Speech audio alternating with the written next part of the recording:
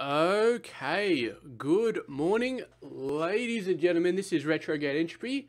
Um, I'll show you my shirt real quick because I'm sure somebody will be wondering what that says. There you go. Eat, sleep, game, and work. Um, which is pretty much my entire life except without the work part at the moment. Although I am working on getting better, so I guess that technically still does count. So, yesterday was the no computer day, and it um, it both succeeded and failed spectacularly. So let me let me sort of go through it. So basically what happened was I started up in the morning. I had like a few minutes on the iPhone doing some gaming stuff. It's only like two or three minutes. I didn't want to do any at first, but I sort of pushed myself. I said, all right, uh, do it two or three minutes. It's not going to really affect anything. And then it was basically just no screens at all. So no computer after I put my video up, um, no TV whatsoever.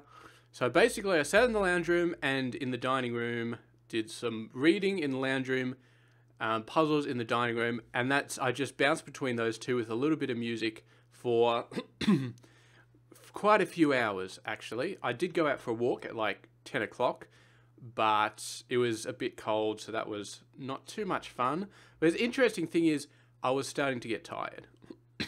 so I was starting to get tired. Um, by about 10 o'clock, I was feeling very lethargic from.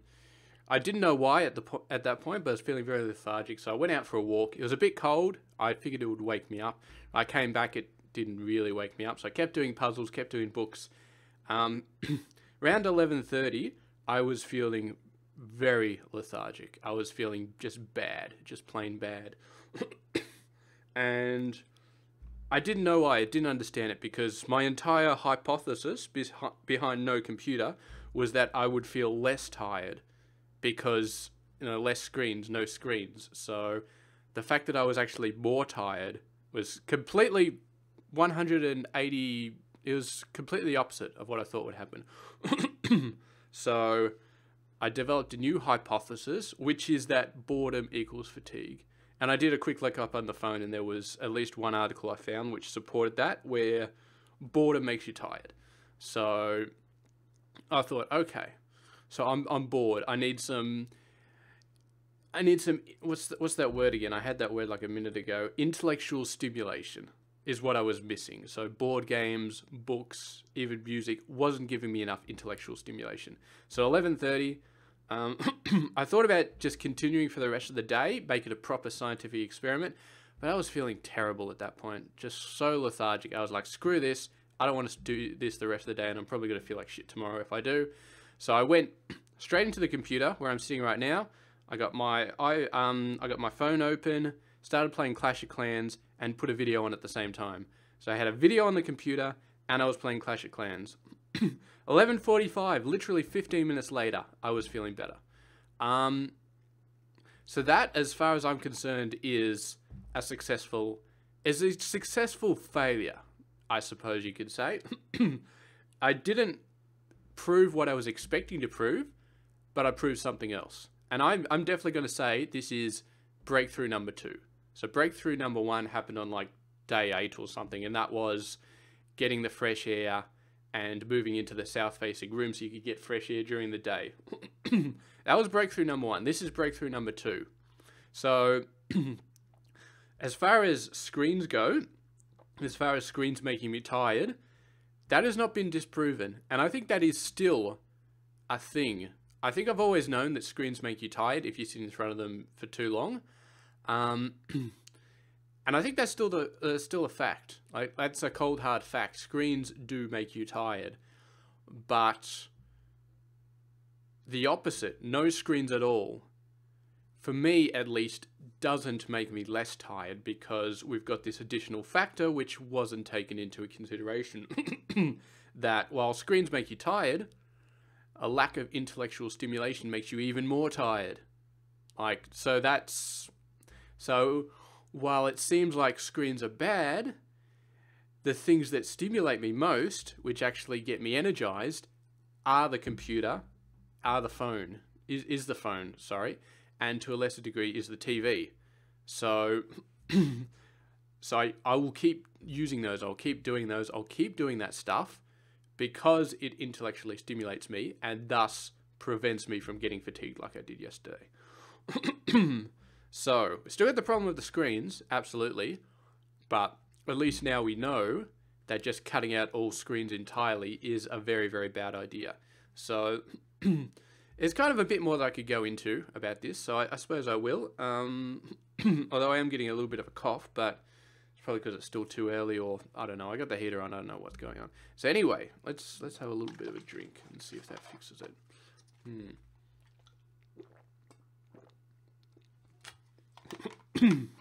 Maybe. so let me kind of um, analyze the screen use a little bit now that we know that it's still a problem, but it's not one we can completely eliminate. So we have to kind of break it down. So I think as far as screens go, there's four things that sort of identify what sort of problem there is. So uh, four characteristics. So you've got the size of the screen, you've got the distance you are from the screen, you've got the brightness of the screen, and you've got the actual content on the screen. so size and distance are fairly obvious. If you've got a big screen that's close to you, it'll tire you out more quickly. If you've got a big screen that's far away, or you've got a tiny little screen, it won't tire you out as fast. It'll tire you out a lot slower. Brightness as well. Obviously, if the screen is brighter, then it'll tire you out more. And there's also um, something to do with the particular colors. I think um, blue light, I believe it's blue light, tires you out more. So I've actually got a little program called Flux, um, F L U X, that I'm running on my computer. Um, and that artificially tones down the blue light. you can actually see, um, it's a bit hard to see in these glasses. They're reflecting the monitors, but you can see they're reflecting when their reflectors like blue. Um, so these are actually blue light. They got a bit of a blue light filter on the glasses themselves. So um, that's something that the optometrist specifically put on the glasses for not specifically for chronic fatigue, but just for like light sensitivity, because a lot of the light sensitive is blue light. So this filters out fair bit of the blue light, which I think is why in the reflection off the glasses, which you can kind of see in the video, you're seeing all the monitors as blue, uh, something like that. So anyway, um, but you can also get a program called Flux on your computer. that filters out the blue light and actually automatically tones down the brightness of your monitors when it's early in the morning or late at night. So you don't have ultra bright monitors when you're about to go to bed, which you should never use your computer when you're about to go to bed anyway. Um, I think early in the morning, it doesn't matter too much. It's obviously if you've got something like Flux or you've got this, this is my, um, it's a Samsung S10 and it actually has light settings where it'll only be as bright as the room needs it to be. so when I wake up and my room's dead dark and I turn on the phone, it's not full brightness. It's actually pretty dim, but it's enough to see because it's a pitch black room. So that's beautiful.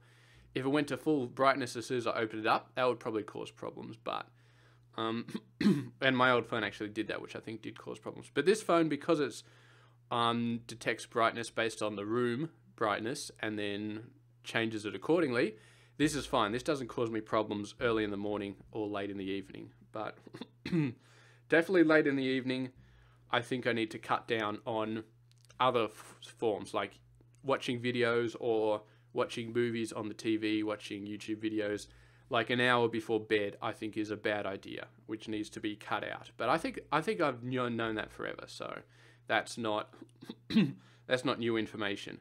So the other thing, the fourth thing, is the content on the thing, and basically when it comes to content, it's um, movement. It's how many things, different things are happening. Right, right now I'm looking at the screen. I'm looking back at myself, and the background is pretty much just nothing happening, and it's just my head talking. So my mouth is really the only thing that's moving on the screen. so it's a very low amount of movement. So what I'm saying is, if I'm playing a game, then playing something like SimCity will not tire me out a lot. Playing a first-person shooter will tire me out a lot more because the whole screen, everything on the screen will be constantly changing, constantly shifting around. SimCity, unless you're scrolling from one side of the map to the other, not a lot's going to change. So that's why I actually, a lot of the games I do cast on YouTube are simulation games because they don't change a lot. Um, so it's a lot easier. It less, makes me less tired. I haven't cast a first person shooter forever because it it's a lot heavier on the hands as well, so screws up your tendonitis, but or my tendonitis anyway. So that's another reason why I don't play those. But I think if I did, then they would probably um, cause a lot more fatigue as well. So that's fine. So the movies, um, movies obviously it's big, but it's far away. It's not that bright, and a lot of stuff does change. So the movies are okay on the TV, but if I watch them late in the evening when I'm just about to go to bed, that's definitely a bad thing. so yeah, got to cut that out. Um, yeah, so that's that's basically it as far as my uh, no computer day went. Uh, learned learned a lot. Definitely that counts as a breakthrough. So it's it's good because I mean because it means I don't have to give up computer because I love computer, love playing my phone, and now the uh, the science um, supports me actually continuing those. If the best way to cure myself of chronic fatigue was to completely give up computer and phone, that would have sucked. That would have really sucked because I I got to cure myself. I got to get cured, and I got a time limit. So that would have sucked.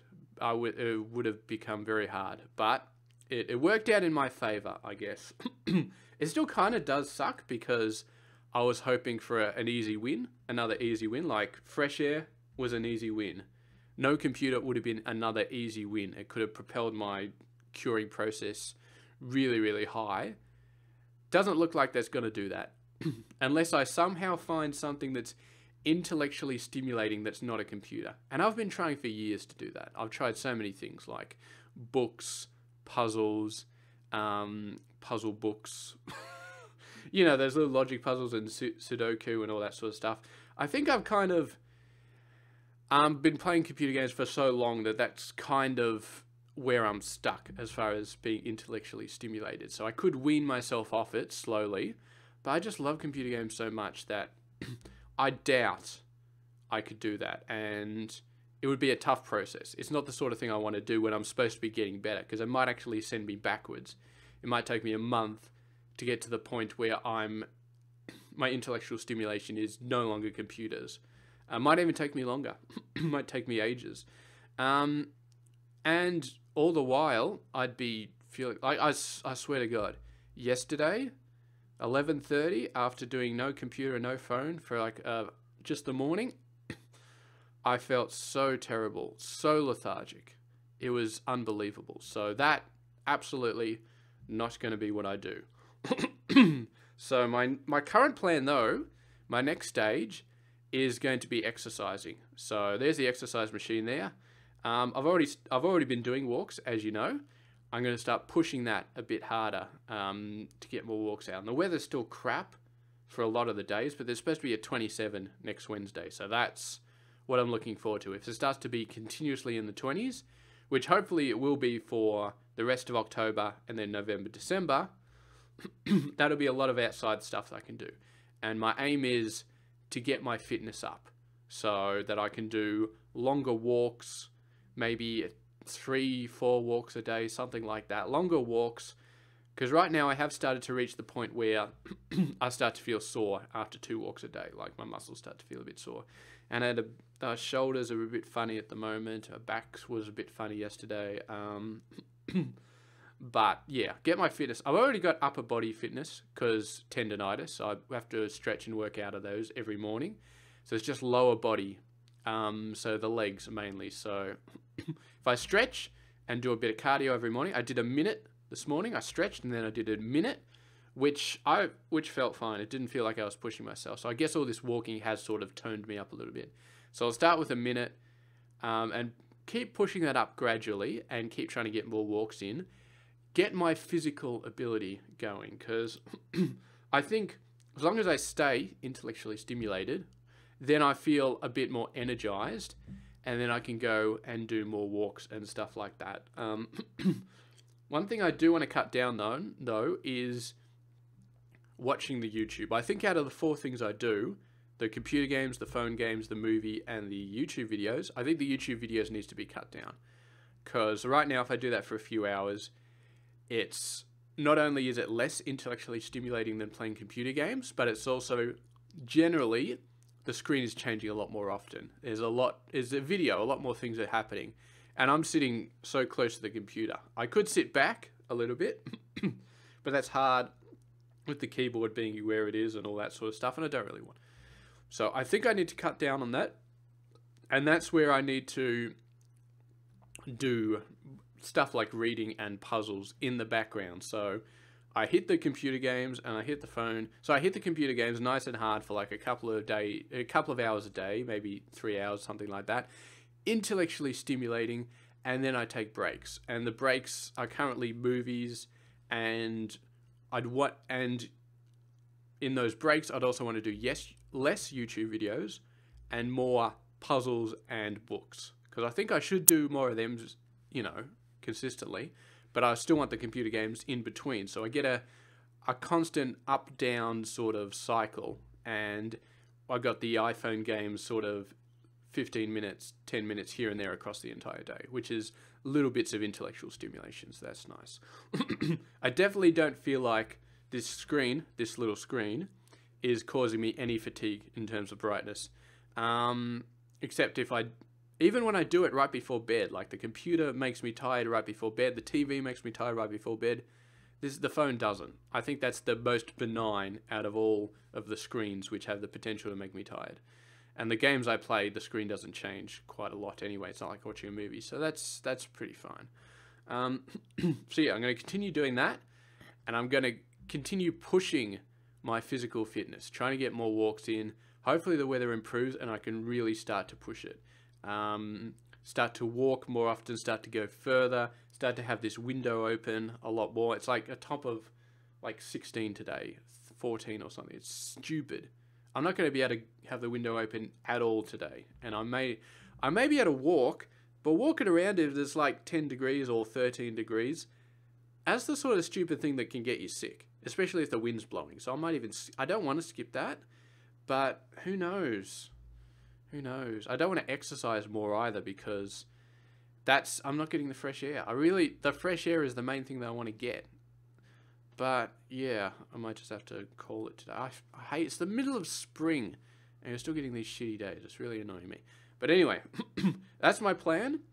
So mitigate the computer things that are that are looking at a big screen but not as intellectually stimulating. So try and focus all the computer stuff and the phone stuff on intellectually stimulating stuff. Maybe get back into the programming because I've done a couple of programming videos, so maybe get back into those because they're really stimulating. Um, and try and reduce stuff like just sitting back and just watching YouTube videos for a few hours. Replace those with puzzles and books. Get it more of a balanced diet, I guess, in terms of activity, and start pushing the physical activity. Start getting the exercise bike up and going on a daily basis, which I didn't want to do because I didn't want it to impact the no computer uh, experiment, but that's over with. So get the exercise going up, try and push the walking as much as possible, try and get the physical activity up. Um, other than that, I really have no more ideas. Like this exercise machine was kind of my last idea, which I was pushed back for various reasons, but now I'm going to do it and it's going to be pushing back. now, I do have an appointment with uh, a place which actually uh, helps you with chronic fatigue, and I've left that till middle November because that's kind of my ace in the hole. So I'm going to go over to them and I'm going to say, hey, you know, help me out a bit. But I want to be, I want to know if my own ideas work by then. So I want to have that sort of all sorted out. And then once I go over there, I can say, well, this has been working for me and this has been working for me. And what other suggestions do you have? Now, I did go there before and it was a little bit lackluster. They were kind of they were they were treating me like I was completely new and they were going to solve all my problems for me. Whereas I'm sort of like a person who has a pretty good idea. I've done my research, I've got a plan, blah blah blah. I just need advice. I need somebody to bounce ideas off to say, "Oh, I've got this idea. What do you think?" And they were kind of like, you know, they wanted to start at the ground floor, which kind of annoyed me a bit. but we'll see. Uh, the next the next thing in November may be the same. they may still be less of a bouncing board and more of a we're gonna we're gonna make this ten step program for you. Um, blah blah blah blah blah, which is which might be helpful, but then again, the only thing I, I don't want to do something like weekly visits because if they're charging me like hundred dollars a week for weekly visits, and we're going through and building up the building blocks at the you know the very lowest level, then I'm just like, oh god, I'm wasting all this money and they're not giving me any useful information. So we'll see. The second uh, the second appointment is with the head guy, a different guy. So maybe it'll maybe it'll turn out a bit differently. I don't know if they want me to start at the ground floor again. I don't know what I'm going to do, but I'm going to try and move away. I'm going to say this is how I feel, blah, blah, blah. This is what I've been doing, blah, blah, blah. It's making me feel better, blah, blah, blah. Maybe get some advice at that level. We'll see how we go, though. but that's not for another month. So, yeah, I'm moving through. I'm not sure that this exercising and getting out and getting more fresh air is going to be a quick fix. I'm not sure that I'm going to get fixed in like October anymore. Um, but we're going to see. Um, we're going to see how much it improves. I'm still optimistic that I'm going to be cured by the end of four months. I don't. I don't think I'm going to need the six months yet. But the fact that there is no quick fix, that I haven't found a quick fix so far, is is slightly concerning, but not unexpected. So it would have been nice if I found a quick fix. I haven't. But the original plan, which is to take four months off and get better, still 100% doable. Absolutely 100% doable. And once the weather gets better and I start to get out more, it might be an exponential thing. I might go from having 10 minutes walking a day to having 30 minutes walking a day outside when the weather gets better, when my fitness improves. And then maybe it'll go out to be like I can take a walk whenever I want and I don't feel tired. And suddenly I'm cured. It's like, boom. It could just shoot up like that. I don't know. It's possible. It's absolutely possible. Um, and in that case, maybe I will be cured by October or November. The I, I do not know, but I'm still optimistic. Absolutely optimistic. And if I don't make any real progress before November, then I'm just going to knuckle down and I'm going to say, whatever. Tell me what I need to do to get better, and I'll do it. And that that's my ace in the hole. That's my backup plan. So if I if I don't see any plan that's actually 100% working by the time I get to that appointment, then I'll just say, what, do you want me to do? and just follow their advice to the letter. Um, so either either way, I'm covering my bases. So that's the important thing. And this has been a very long video. So thank you very much for watching, and I will see you guys tomorrow.